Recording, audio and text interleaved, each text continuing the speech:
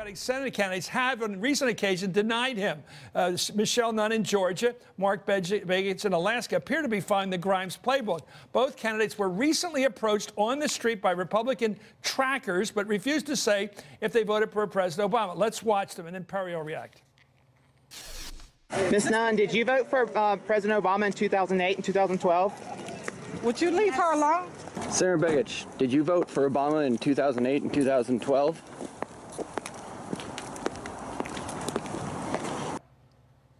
That's the way people walk past guys, you know, trying to get a buck or a quarter from somebody.